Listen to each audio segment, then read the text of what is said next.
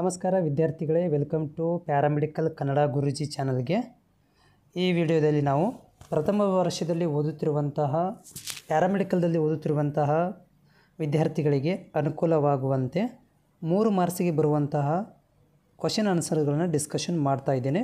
So ಈಗಾಗಲೇ ಸುಮಾರು ವಿಡಿಯೋಗಳನ್ನು ಕೂಡ ಮಾಡಿ ಹಾಕಿದ್ದೀನಿ. ನೀವು ಹೋಗಿ ಯೂಟ್ಯೂಬ್ ಚಾನಲಲ್ಲಿ ನೋಡ್ಕೊಳ್ಬೋದು. ಅದು ಫಿಸಿಕ್ಸ್ ಕೆಮಿಸ್ಟ್ರಿ ಮತ್ತು ಬಯಾಲಜಿಗೆ ಟಾಪಿಕ್ಗಳನ್ನು ಹಾಕ್ತಾಯಿದ್ದೀನಿ ಸೊ ಇವತ್ತು ನಾನು ಫಿಸಿಕ್ಸ್ ಟಾಪಿಕ್ದಿಂದ ಇಂಪಾರ್ಟೆಂಟ್ ಕ್ವಶನ್ಸ್ಗಳನ್ನ ಚಾಯ್ಸ್ ಮಾಡಿಕೊಂಡು ಮೂರು ಮಾರ್ಕ್ಸಿಗೆ ಮಾತ್ರ ಡಿಸ್ಕಷನ್ ಮಾಡ್ತೀನಿ. ವಿಡಿಯೋ ನಿಮಗೆ ಹೆಲ್ಪ್ಫುಲ್ ಅನಿಸಿದರೆ.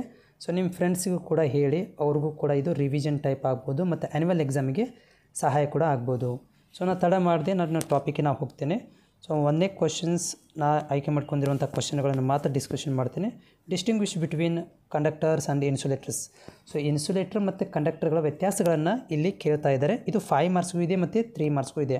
ವ್ಯತ್ಯಾಸಗಳು ಒಂದೊಂದಾಗಿ ಸಿಂಪಲಾಗಿ ಹೇಳ್ತಾ ಹೋದರೆ ಕಂಡಕ್ಟರ್ ಅಂದ್ರೇನು material which permits the electric current or heat to pass it ಒಂದು ವಸ್ತು ತನ್ನ ಮುಖಾಂತರ ಎಲೆಕ್ಟ್ರಿಕ್ ಕರೆಂಟನ್ನು ಅಥವಾ ಹೀಟನ್ನು ಪಾಸ್ ಮಾಡುತ್ತಿದ್ದರೆ ಅದಕ್ಕೆ ನಾವು ಕಂಡಕ್ಟರ್ಗಳು ಅಂತ ಕರಿ, ಕರಿತೀವಿ. ಇನ್ನೂ ಸಿಂಪಲಾಗಿ ಹೇಳೋದಾದರೆ the material which conduct the electricity through them ತನ್ನ ಮುಖಾಂತರ ವಿದ್ಯುತ್ತನ್ನು ಹರಿಯಲಿ ಬಿಡುವಂತಹ ವಸ್ತುಗಳಿಗೆ ಕಂಡಕ್ಟರ್ಗಳು ಅಂತ ಕರಿತೀವಿ. ಇನ್ಸುಲೇಟರ್ ಅಂತಂದ್ರೇನು material which resist the electric current or heat pass through it low so ಒಂದು ಮಟೀರಿಯಲ್ ಎಲೆಕ್ಟ್ರಿಕ್ ಕರೆಂಟನ್ನು ಅಥವಾ ಹೀಟನ್ನು ತನ್ನ ಮುಖಾಂತರ ಹರಿಯಲು ಬಿಡುವುದಿಲ್ಲ ವಿಚ್ ರಜಿಸ್ಟ್ ಕಂಟ್ರೋಲ್ ಮಾಡಿಕೊಳ್ಳುತ್ತೆ ಫ್ಲೋ ಆಗಲಿಕ್ಕೆ ಬಿಡುವುದಿಲ್ಲ. ಸೊ ಅಂಥವುಗಳಿಗೆ ನಾವು ಇನ್ಸುಲೇಟರ್ಗಳು ಅಂತ ಕರಿತೀವಿ. ಓಕೆ ಸೊ ಎರಡನೇ ಪಾಯಿಂಟ್ ವ್ಯತ್ಯಾಸಗಳನ್ನು ನೋಡ್ತಾ ಹೋಗ್ತಾ ಇದ್ದೀವಿ ಒಂದು ಥರ್ಮಲ್ ಕಂಡಕ್ಟಿವಿಟಿ ಹೈ ಇರುತ್ತೆ. ತಂದ ಥರ್ಮಲ್ ಕಂಡಕ್ಟಿವಿಟಿ ಅಂತಂದರೆ ಅತಿ ಬೇಗನೆ ಹೀಟ್ ಆಗುವಂಥ ಕ್ರಿಯೆ. ಸೊ ಇನ್ಸುಲೇಟರ್ಗಳಲ್ಲಿ ಥರ್ಮಲ್ ಕಂಡಕ್ಟಿವಿಟಿ ಲೋ ಇರುತ್ತೆ. ರೆಜಿಸ್ಟೆನ್ಸ್ ಇಲ್ಲಿ ತುಂಬ ಕಡಿಮೆ ಇರುತ್ತೆ. ಬಟ್ ಇಲ್ಲಿ ರೆಜಿಸ್ಟೆನ್ಸ್ ತುಂಬ ಹೈ ಇರುತ್ತೆ. ನೆಕ್ಸ್ಟ್ ಇಲೆಕ್ಟ್ರಾನ್ಸ್ ಫ್ರೀಲಿ ಮೂಮೆಂಟಮ್ ಆಗ್ತವೆ ಕಂಡಕ್ಟರಲ್ಲಿ ಬಟ್ ಇನ್ಸುಲೇಟರ್ ಒಳಗಡೆ do not move freely ಇಲೆಕ್ಟ್ರಾನ್ಸ್ಗಳು do not move freely covalent bond weak ಇರುತ್ತೆ ಬಟ್ ಇಲ್ಲಿ ಕೋವೆಂಟ್ ಬಾಂಡ್ ಸ್ಟ್ರಾಂಗ್ ಇರುತ್ತೆ. ಕಂಡಕ್ಟಿವಿಟಿ ವೆರಿ ಹೈ ಅಂದರೆ ಹೀಟ್ ಆಗಿರ್ಬೋದು ಹೀಟನ್ನು ಎಲೆಕ್ಟ್ರಿಸಿಟಿಯನ್ನು ಕನೆಕ್ಟ್ ಮಾಡೋದು ತುಂಬ ಹೈ ಇರುತ್ತೆ ಬಟ್ ಇಲ್ಲಿ conductivity is low conduction band full of electrons ಇದರಲ್ಲಿ ಇಲೆಕ್ಟ್ರಾನ್ಗಳು ಫುಲ್ ಆಫ್ ಇಲೆಕ್ಟ್ರಾನ್ಗಳನ್ನು ಕಂಡಕ್ಷನ್ ಬಾಂಡ್ ಹೆಂಗಿರುತ್ತೆ ಅಂದರೆ ಫುಲ್ ಆಫ್ ಇಲೆಕ್ಟ್ರಾನ್ಗಳನ್ನು ಹೊಂದಿರುತ್ತೆ. ಬಟ್ ಇಲ್ಲಿ conduction bond remains empty conduction bond ಖಾಲಿಯಾಗಿರುತ್ತೆ. ಅಂದರೆ ಇಲೆಕ್ಟ್ರಾನ್ಗಳು ಕ್ಯಾರಿ ಮಾಡುವಂಥ ಒಂದು ಸ್ಪೇಸ್ಗಳು ಇದರಲ್ಲಿ ಇರುವುದಿಲ್ಲ. ನೆಕ್ಸ್ಟ್ ಉದಾಹರಣೆಗೆ ನಮ್ಮ ಕಂಡಕ್ಟರ್ಗಳಿಗೆ iron aluminium silver, copper etcetera but ಇನ್ಸುಲೇಟರ್ಗಳಿಗೆ rubber, wood, paper etcetera ಇನ್ಸುಲೇಟರ್ಗಳು. ಅಪ್ಲಿಕೇಶನ್ ಎಲ್ಲಿ ಯೂಸ್ ಮಾಡ್ತೀವಿ? ಕಂಡಕ್ಟರ್ಗಳನ್ನು making the electrical wires electrical ವೈರ್ಗಳಲ್ಲಿ ಕಂಡಕ್ಟರ್ಗಳನ್ನು ಯೂಸ್ ಮಾಡ್ತೀವಿ. ಮತ್ತು ಇನ್ಸುಲೇಟರ್ಗಳನ್ನು insulation of electrical cables electrical ಕೇಬಲ್ಗಳ ಮೇಲೆ ಸುತ್ತಿರ್ತಾರಲ್ಲ ಒಂದು ಪ್ಲಾಸ್ಟಿಕ್ ಇರುತ್ತಲ್ಲ, ಅದಕ್ಕೆ ನಾವು ಇನ್ಸುಲೇಷನ್ ಅಂತ ಹೇಳ್ತೀವಿ. So insulation in electrical cables ಇದು ವ್ಯತ್ಯಾಸ. ಓಕೆ ನೆಕ್ಸ್ಟ್ ಎರಡನೇ questions define lens mention its uses lens ಅಂದ್ರೇನು?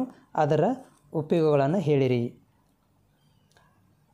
A lens refracting transparent medium sorry a small refracting transparent medium which at least one curved surface are called lens so ಒಂದು small refracting transparent media ಇದೆ.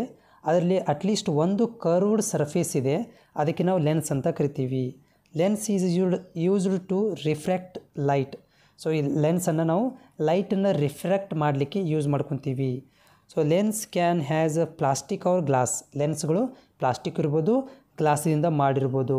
From combination of those material such as a light passes through it so ಇದು ಹೆಂಗೆ ಮಾಡಿರ್ತಾರೆ ಅಂತಂದರೆ plastic ಮತ್ತು ಗ್ಲಾಸ್ಗಳನ್ನು ತನ್ನ ಮುಖಾಂತರ light ಹೊರಗಡೆ ಪಾಸ್ ಆಗಿ ಹೋಗಬೇಕು. ಆ ರೀತಿಯಾಗಿ ಲೈಟ್, ಆ ರೀತಿಯಾಗಿ ಮೆಟೀರಿಯಲ್ಗಳನ್ನು ಮಾಡಿರ್ತಾರೆ. ಇಟ್ ಲೈಟ್ ಗೆಟ್ ರಿಫ್ರಾಕ್ಟೆಡ್ ಮತ್ತು ಲೈಟ್ ಏನಾಗಬೇಕು? ಟ್ರಾನ್ಸ್ಪರೆಂಟ್ ಆಗಬೇಕು. ಅಥವಾ ಪಾಸ್ ಆಗಿ ಹೋಗಬೇಕು ಆ ರೀತಿಲಿ ಮಾಡಿರುವಂಥ ಒಂದು ವಸ್ತು ಲೆನ್ಸ್ಗಳು.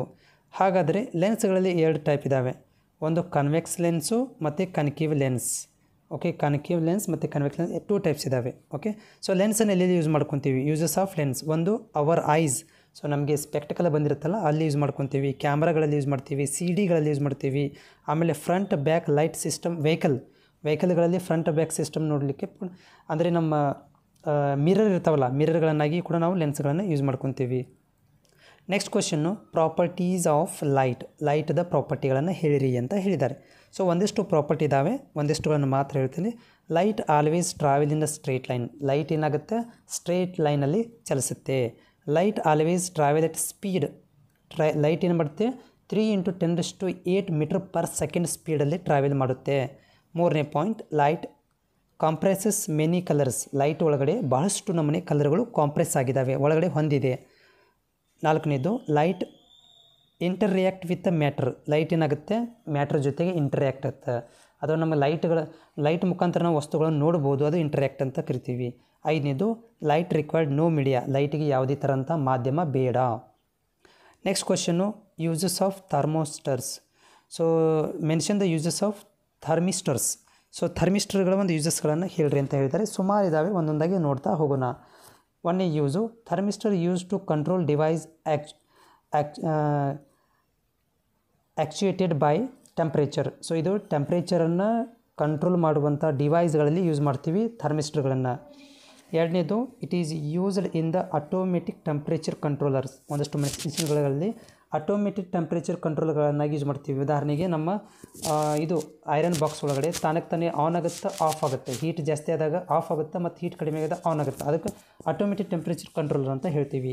ಆ ರೀತಿಯಲ್ಲಿ ಥರ್ಮಿಸ್ಟರ್ಗಳನ್ನು ಯೂಸ್ ಮಾಡ್ತೀವಿ. ಮೂರನೇದು ವೈಡ್ ಯೂಸ್ಡಿಂದ ಟೆಂಪ್ರೇಚರ್ ಮೀಸರ್ಮೆಂಟ್ ಟೆಂಪ್ರೇಚರ್ ಮೀಸರ್ಮೆಂಟ್ ಮಾಡಲಿಕ್ಕೆ ಯೂಸ್ ಮಾಡ್ತೀವಿ. ನಾಲ್ಕನೇ ಯೂಸಸ್ ಇಲೆಕ್ಟ್ರಾನಿಕ್ ಸರ್ಕ್ಯೂಟ್ಗಳಲ್ಲಿ ಟೆಂಪ್ರೇಚರ್ ಕಂಪೆನ್ಸೇಷನ್ಗಳಾಗಿ ಯೂಸ್ ಮಾಡ್ತೀವಿ. ಸರ್ಕ್ಯೂಟ್ ಒಳಗಡೆ ಹೀಟಿಂಗು ಟೆಂಪ್ರೇ ಕೂಲಿಂಗ್ ಮಾಡುವಂಥ ಒಂದು ಸೆನ್ಸರ್ಗಳನ್ನು ಅಳವಡಿಕೆ ಮಾಡಿರ್ತೀವಿ, ಅಲ್ಲಿ ಯೂಸ್ ಮಾಡ್ತೀವಿ.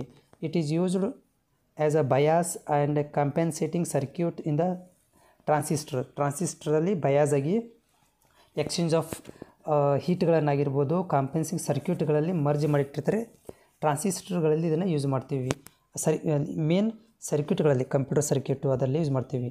So thermistors use to temperature sensor without ಅವ್ರ ವಿತ್ ಕಾಂಪೆನ್ಸೇಷನ್ ಟೆಂಪ್ರೇಚರ್ ಸೆನ್ಸರ್ಗಳನ್ನಾಗಿ ಯೂಸ್ ಮಾಡ್ತೀವಿ. ಕಾಂಪೆನ್ಸೇಷನ್ ಆರ್ ವಿತೌಟ್ ಕಾಂಪೆನ್ಸೇಷನ್ಗಾಗಿ ಯೂಸ್ ಮಾಡ್ತೀವಿ. So used for the measuring the thermal conductivity thermal ಕಂಡಕ್ಟಿವಿಟಿಗಳನ್ನು measurement ಮಾಡುವಂಥ ವಸ್ತುಗಳಲ್ಲಿ ಯೂಸ್ ಮಾಡ್ತೀವಿ.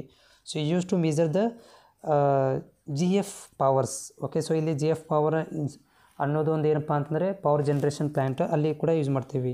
So used in the thermal delay ಸರ್ಕ್ಯೂಟ್ಸ್ಗಳಲ್ಲಿ ಮತ್ತು time delay ಸರ್ಕ್ಯೂಟ್ಗಳಲ್ಲಿ ಯೂಸ್ ಮಾಡ್ತೀವಿ.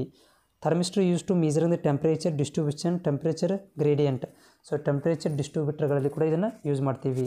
ಸೊ ಇವೆಲ್ಲ ಏನಂತಂದರೆ ಫಿಸಿಕ್ಸಲ್ಲಿ ಬರುವಂತಹ ಮೂರು ಮಾರ್ಕ್ಸಿಗೆ ಕ್ವಶನ್ಸ್ಗಳು ಹೋಪ್ ಇದು ಯೂಸ್ಫುಲ್ ಆಗಿದೆ ಅಂತ ಅಂದ್ಕೊಂಡಿದ್ದೀನಿ ಇದರ ಒಂದು ಪಿ ಡಿ ಎಫ್ ಲಿಂಕನ್ನು ಡಿಸ್ಕ್ರಿಪ್ಷನ್ ಹಾಕಿರ್ತೀನಿ. ಹೋಗಿ ಡೌನ್ಲೋಡ್ ಮಾಡ್ಕೊಳ್ಳಿ. Thank you